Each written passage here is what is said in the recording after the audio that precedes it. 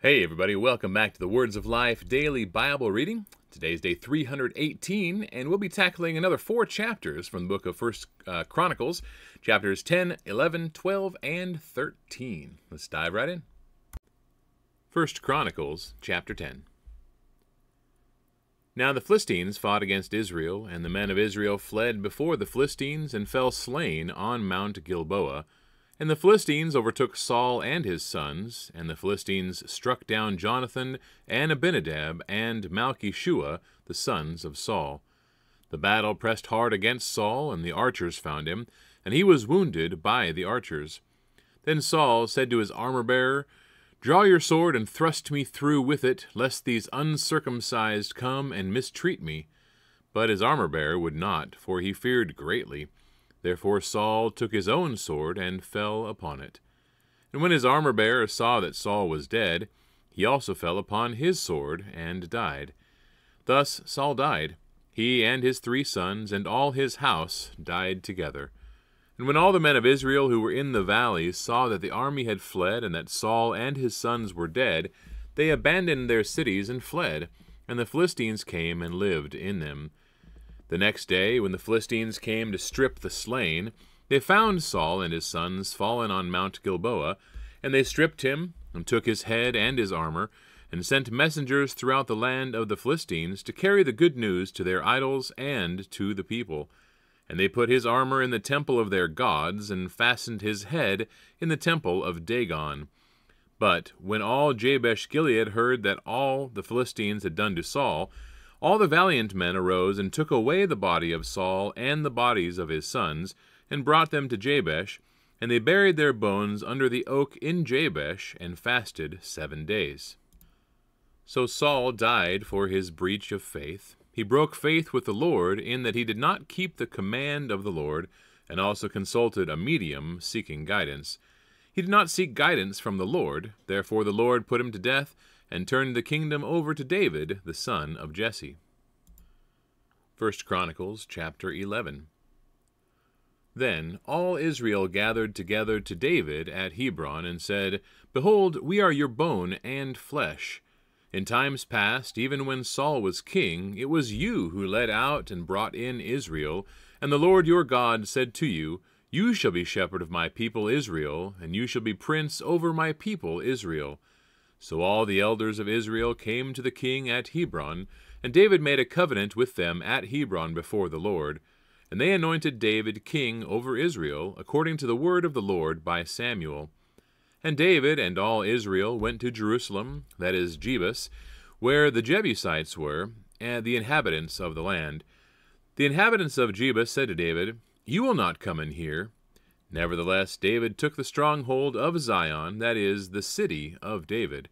David said, Whoever strikes the Jebusites first shall be chief and commander. And Joab, the son of Zeruiah, went up first, so he became chief. And David lived in the stronghold, therefore it was called the city of David. And he built the city all around from the Millo in complete circuit, and Joab repaired the rest of the city. And David became greater and greater, for the Lord of hosts was with him. Now these are the chiefs of David's mighty men, who gave him strong support in his kingdom, together with all Israel, to make him king, according to the word of the Lord concerning Israel. This is an account of David's mighty men. Jashobeam, a Hachmonite, was chief of the three. He wielded his spear against three hundred whom he killed at one time. And next to him among the three mighty men was Eleazar, the son of Dodo, the Aathite. He was with David at Pasdammim when the Philistines were gathered there for battle. There was a plot of ground full of barley, and the men fled from the Philistines. But he took his stand in the midst of the plot and defended it and killed the Philistines, and the Lord saved them by a great victory. Three of the thirty chief men went down to the rock to David at the cave of Adullam, when the army of the Philistines was encamped in the valley of Rephaim. David was then in the stronghold, and the garrison of the Philistines was then at Bethlehem. And David said longingly, Oh, that someone would give me water to drink from the well of Bethlehem that is by the gate. Then the three mighty men broke through the camp of the Philistines and drew water out of the well of Bethlehem that was by the gate, and took it and brought it to David. But David would not drink it. He poured it out to the Lord. He said, Far be it from me before my God that I should do this. Shall I drink the lifeblood of these men? For at the risk of their lives they brought it. Therefore he would not drink it. These things did the three mighty men. Now Abishai, the brother of Joab, was chief of the thirty, and he wielded his spear against three hundred men, and killed them, and won a name beside the three. He was the most renowned of the thirty, and became their commander, but he did not attain to the three. And Benaiah the son of Jehoiada was a valiant man of Kabzeel, a doer of great deeds. He struck down two heroes of Moab. He also went down and struck down a lion in a pit on a day when snow had fallen. And he struck down an Egyptian, a man of great stature, five cubits tall. The Egyptian had in his hand a spear like a weaver's beam, but Benaiah went down to him with a staff and snatched the spear out of the Egyptian's hand and killed him with his own spear. These things did Benaiah the son of Jehoiada, and won a name beside the three mighty men. He was renowned among the thirty, but he did not attain to the three. And David set him over his bodyguard. The mighty men were Asahel, the brother of Joab, Elhanan, the son of Dodo of Bethlehem, Shammoth of Harod, Helez the Pelonite, Ira the son of Ikkesh of Tekoa, Abiezer of Anathoth, Sibbecai the Hushathite, Eli the Ahite, Maharai of Netophah, Heled the son of Baanah of Netophah, Ithai the son of Ribai of Gibeah, of the people of Benjamin, Benaiah of Pirathon, Hurai of the brooks of Gaash, Abiel the Arbathite, Azmaveth of Bahurim, Eliahba the Shaalbonite, Hashem the Gizonite, Jonathan the son of Shagee the Hararite, Ahiam the son of Sachar the Hararite, Eliphal the son of Ur, Hepher the Mecherathite, Ahijah the Pelonite, Hezro of Carmel, Nerari the son of Ezbai, Joel the brother of Nathan, Mibhar the son of Hagri, Zelek the Ammonite, Zaharai of Beeroth, the armor-bearer of Joab, the son of Zeruiah, Ira the Ithrite, Gareb the Ithrite, Uriah the Hittite, Zabad the son of Ahlai, Adina the son of Shizi the Reubenite, a leader of the Reubenites, and thirty with him, Hanan the son of Maacah, and Joshaphat the Mithnite, Uzziah the Ashterathite, Shama and Jael the sons of Hotham the Aroerite, Jediael the son of Shimri, and Joha his brother the Tizite, Eliel the Mahavite, and Jeribai and Joshaviah the sons of Elnaam, and Ithmah the Moabite, Eliel and Obed, and Jaasiel the Metzobite. 1 Chronicles chapter 12. Now these are the men who came to David at Ziklag, while he could not move about freely because of Saul the son of Kish, and they were among the mighty men who helped him in war. They were bowmen and could shoot arrows and sling stones with either the right or the left hand. They were Benjaminites, Saul's kinsmen. The chief was Ahiezer, then Joash, both sons of Shemaiah, of Gibeah, also Jeziel and Pelet, the sons of Azmaveth, Beracah, Jehu of Anathoth, Ishmaiah of Gibeon, a mighty man among the thirty, and a leader over the thirty, Jeremiah, Jehaziel, Johanan, Jozabad of Gederah, Eluzai, Jerimoth, Bealiah, Shemariah, Shephatiah, the Haruphite, Elkanah, Isshiah, Azarel, Joezer, and Jashobeam the Korahites, and Jola and Zebadiah the sons of Jeroham of Gedor. From the Gadites there went over to David at the stronghold in the wilderness mighty and experienced warriors, expert with shield and spear, whose faces were like the faces of lions, and who were swift as gazelles upon the mountains. Ezer the chief, Obadiah second, Eliab third, Mishmannah fourth, Jeremiah fifth, Attai sixth, Eliel seventh, Johanan eighth, Elzabad ninth, Jeremiah tenth, Machbannai eleventh. These Gadites were officers of the army. The least was a match for a hundred men, and the greatest for a thousand. These are the men who crossed the Jordan in the first month, when it was overflowing all its banks, and put to flight all those in the valleys to the east and to the west. And some of the men of Benjamin and Judah came to the stronghold to David. David went out to meet them and said to them, If you have come to me in friendship to help me, my heart will be joined to you. But if to betray me to my adversaries, although there is no wrong in my hands, then may the God of our fathers see and rebuke you. Then the Spirit clothed Amasai, chief of the thirty, and he said, We are yours, O David, and with you, O son of Jesse. Peace, peace to you, and peace to your helpers, for your God helps you. Then David received them and made them officers of his troops.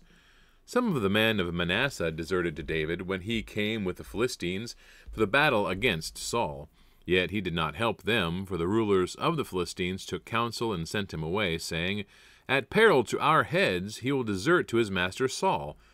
As he went to Ziklag, these men of Manasseh deserted to him Adnah, Jozabad, Jediael, Michael, Jozabad, Elihu, and Zillethai, chiefs of thousands in Manasseh.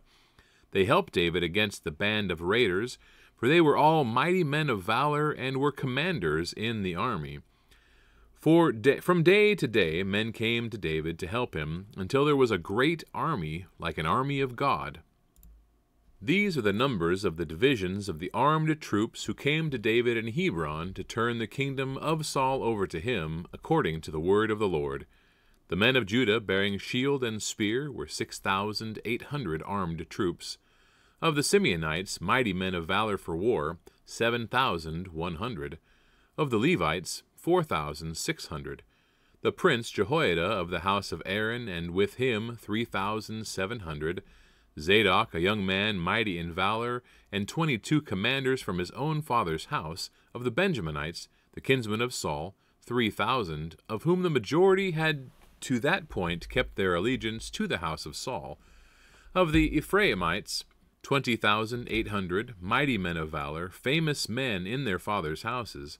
Of the half tribe of Manasseh, eighteen thousand, who were expressly named to come and make David king of Issachar, men who had understanding of the times, to know what Israel ought to do, two hundred chiefs, and all their kinsmen under their command. Of Zebulun, fifty thousand seasoned troops, equipped for battle with all the weapons of war to help David with singleness of purpose. Of Naphtali, one thousand commanders, with whom were thirty seven thousand men armed with shield and spear. Of the Danites, twenty eight thousand six hundred men equipped for battle. Of Asher, 40,000 seasoned troops ready for battle. Of the Reubenites and Gadites and the half tribe of Manasseh from beyond the Jordan, 120,000 men armed with all the weapons of war. All these, men of war arrayed in battle order, came to Hebron with a whole heart to make David king over all Israel. Likewise, all the rest of Israel were of a single mind to make David king. And they were there with David for three days, eating and drinking, for their brothers had made preparation for them. And also their relatives, from as far as Issachar and Zebulun and Naphtali, came bringing food on donkeys, and on camels, and on mules, and on oxen abundant provisions of flour, cakes of figs, clusters of raisins, and wine and oil, oxen and sheep, for there was joy in Israel. 1 Chronicles chapter 13 David consulted with the commanders of thousands and of hundreds, with every leader. And David said to all the assembly of Israel, If it seems good to you and from the Lord our God, let us send abroad to our brothers who remain in all the lands of Israel, as well as to the priests and Levites in the cities that have pasture lands, that they may be gathered to us. Then let us bring again the ark of our God to us, for we did not seek it in the days of Saul. All the assembly agreed to do so, for the thing was right in the eyes of all the people. So David assembled all Israel from the Nile of Egypt to Lebo Hamath to bring the ark of God from Kiriath Jearim. And David and all Israel went up to Baalah, that is, to Kiriath Jearim, that belongs to Judah, to bring up from there the ark of God, which is called by the name of the Lord, who sits enthroned above the cherubim. And they carried the ark of God on a new cart, from the house of Abinadab, and Uzzah and Ahio were driving the cart. And David and all Israel were celebrating before God with all their might, with song and lyres and harps, and tambourines and cymbals and trumpets. And when they came to the threshing floor of Chidon, Uzzah put out his hand to take hold of the ark, for the oxen stumbled. And the anger of the Lord was kindled against Uzzah, and he struck him down because he put out his hand to the ark, and he died there before God. And David was angry because the Lord had broken out against Uzzah, and that place is called Perez Uzzah to this day. And David was afraid of God that day, and he said, How can I bring the ark of God home to me? So David did not take the ark home into the city of David, but took it aside to the house of Obed Edom the Gittite. And the ark of God remained with the household of Obed Edom in his house three months. And the Lord blessed the house of Obed Edom and all that he had. All right, everybody, that wraps up the reading for today. Thanks again for tuning in. Leave any comments or questions below, and uh, may God bless you. We'll see you tomorrow.